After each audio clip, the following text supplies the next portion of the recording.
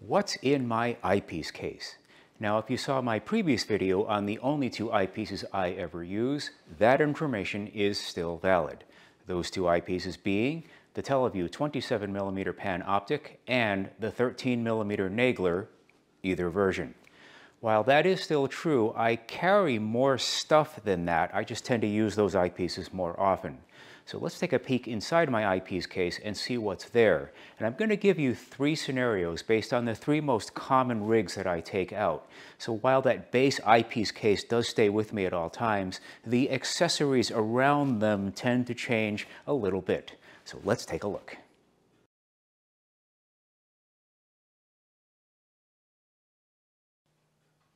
So the first scenario, and by far the most common, is if I take out a mid-aperture Dobsonian reflector, a 6-inch, an 8-inch, or a 10-inch.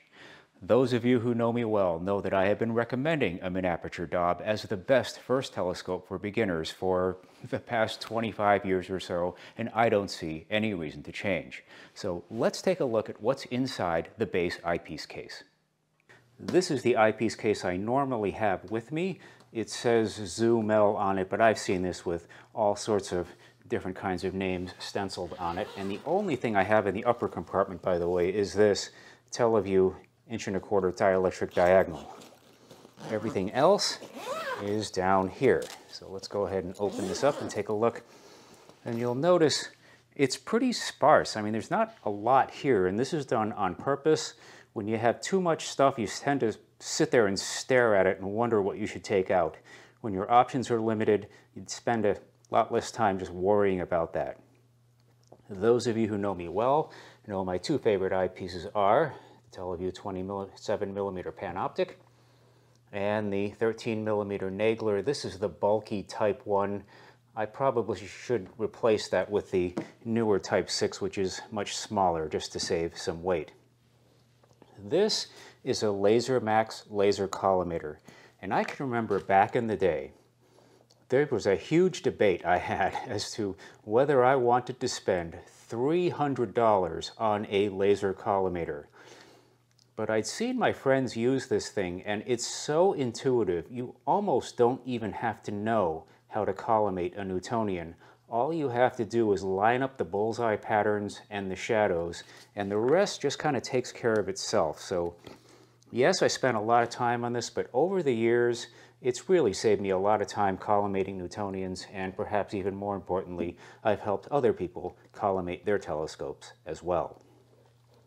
9 millimeter Nagler Type 1, I should again probably upgrade to the newer one, which is much smaller and save some weight. Televue 2X Barlow. And then I have three Plossls. This is the 32, my all-time favorite, the Televue 25, and the 20. This one doesn't get used very often. I have a 2 inch to inch and a quarter adapter, and I have the other adapter. This is the 0.965 to inch and a quarter, and the reason I have this is because, of course, if you do this long enough, somebody is going to come up to you with a junk telescope and say, I can't figure out how to use this thing, what am I doing wrong? Well, this thing at least gives you a fighting chance because you can use the normal inch and a quarter eyepieces. Up in the corner here, there's the Televue Zoom. It's the 8 to 24. This is really just a brand labeled Vixen product. I don't like zoom eyepieces. I've said this before, and I don't particularly like this one either, but uh, I've just kind of had it around. It just sort of inhabits this upper left-hand corner of the eyepiece case. Okay, so if you've been doing this for a while, this probably doesn't look all that unusual to you. If you are a beginner, this may seem sparse, and in particular, there are two items that I don't have in here. What are they? Well, the first one is I don't have any high power eyepieces here they don't get used. The shortest focal length I have is the 9. The second thing that I don't have in here, I don't have any filters. I don't use any filters whatsoever. I think they're all a waste of time. That's a topic for another time. The only filter I think that most people should ever consider buying is the O3. That's the one that lets you see the veil It is also useful on the Ring, the Dumbbell, the Orion Nebula, and some other things, but you don't have to rush out and buy that thing, and I usually don't even carry it with me. If you are a beginner, the one thing you really want to stay away from are those silly colored filters that everybody winds up buying. They don't do anything except ruin the view. And no matter how many times I say that, it doesn't make any difference whatsoever. Beginners go out and buy those things, and then they sit in those little square boxes all in a row at the back of your eyepiece case, and it reaches the point where you just don't even see them anymore. You just kind of reach past them. Well, I would suggest if you have a box set of those silly colored filters, get them out of your eyepiece case and use the real estate for something more useful. But that's pretty much it, folks. If you see me out there, this is probably what I'm going to have with me, and the eyepiece case is probably going to be configured something pretty close to this. So there is one minor variation here. If I wind up taking out the XT6, this is the 6-inch Dobsonian, you'll notice it does not have a 2-inch focuser, so the two eyepieces that I showed you won't fit. That's okay because you can sort of slide down the line and get an eyepiece that does in fact fit. So in other words, instead of the 27 millimeter Televue Panoptic, I will get the slightly smaller brother, the 24 millimeter Panoptic. The views between those two eyepieces are surprisingly similar, and in fact you can get away with the 24 without having to spend the money for the 27 if you wanted to save yourself a little bit of money. As for the 13 millimeter Nagler, well, the new version is inch and a quarter, so I have one of those and I take that. And the views are very similar between the two rigs.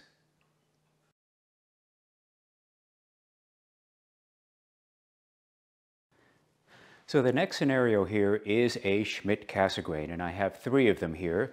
This is a C6 on an X-Star mount. That is an 8-inch LX200, and that is a 12-inch LX200. The 12-inch doesn't get used very often. It's just too big.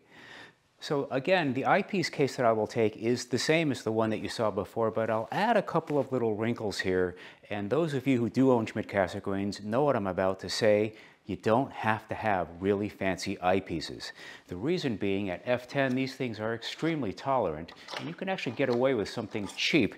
I have this Orion Deep View 28 millimeter eyepiece here, and I've got something very similar a Celestron Elux 26. It wouldn't surprise me if these were very similar, if not identical eyepieces. They're Kellner type designs, and those are fine at f10. It doesn't have to cope with a very steep light cone and have to correct for all of this.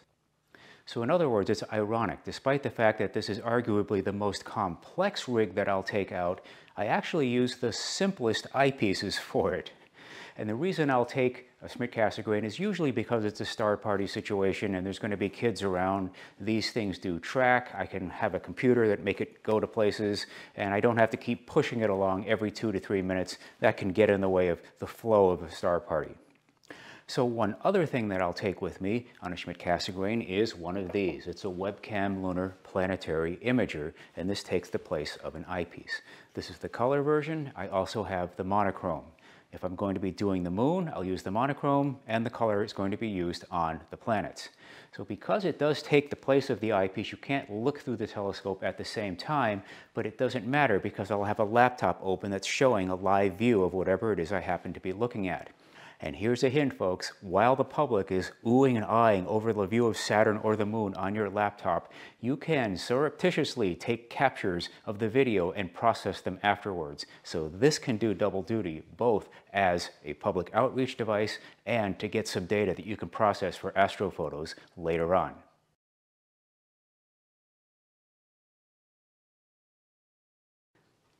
And the last scenario is if I take a good refractor with me on a tracking equatorial mount.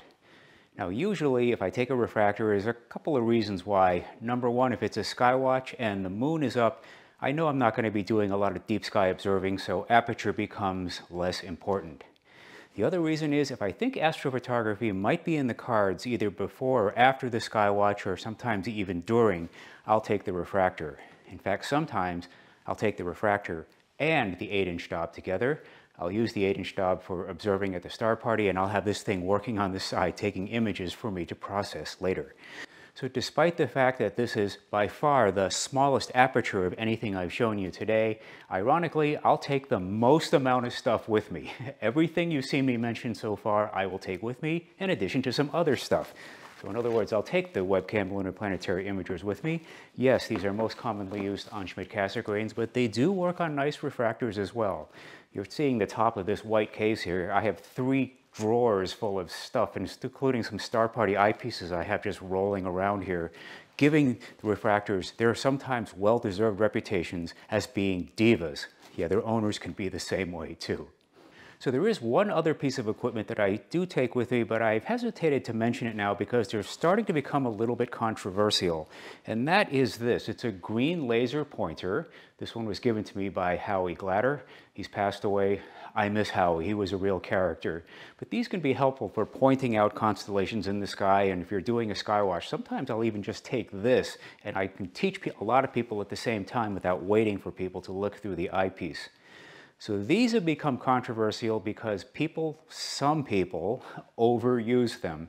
So when you're out there on a beautiful, clear, dark night, you'll start seeing lots of green beams crisscrossing the sky and making all sorts of weird patterns. Yes, it, it, may come a point where some star parties may start to ban these things. I've heard of that happening. So yes, if you do take one of these, and I do, please do use it responsibly. So there you have it, folks, a look at what's inside my eyepiece case. I hope this information has helped you to decide what to take with you when you go out observing. Thanks for watching, and I'll see you soon.